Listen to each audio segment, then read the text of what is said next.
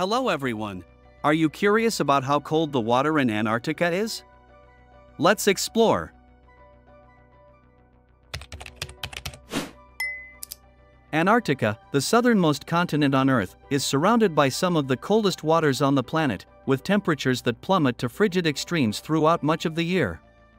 The waters surrounding Antarctica play a crucial role in shaping the continent's climate, ecosystems, and global ocean circulation patterns. Understanding the temperature of these waters is essential for comprehending the unique environment of Antarctica and its significance in the broader context of Earth's oceans. The waters around Antarctica are predominantly composed of the Southern Ocean, a vast expanse of ocean that encircles the continent and extends northward toward the southern tips of South America, Africa, and Australia. The Southern Ocean is characterized by its cold temperatures, turbulent seas, and strong winds, making it one of the most inhospitable regions for maritime navigation and exploration. One of the defining features of the waters around Antarctica is the presence of Antarctic sea ice, which forms annually during the winter months and melts during the summer.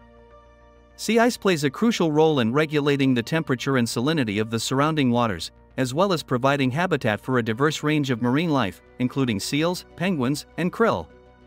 The temperature of the water in Antarctica varies seasonally and spatially, influenced by factors such as solar radiation, atmospheric conditions, ocean currents, and the presence of sea ice.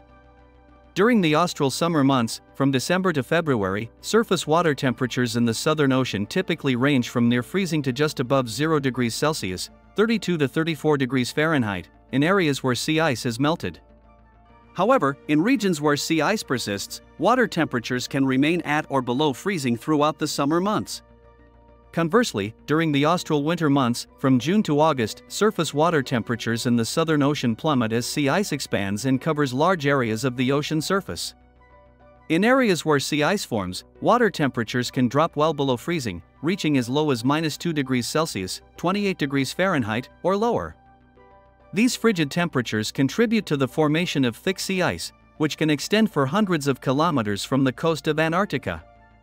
In addition to seasonal variations, water temperatures in Antarctica also vary spatially, with colder temperatures generally found closer to the continent and warmer temperatures occurring further offshore.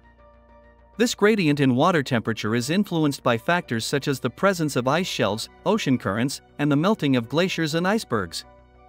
Near the coast of Antarctica, where cold freshwater runoff from melting ice interacts with seawater, water temperatures can be significantly colder than in open ocean areas.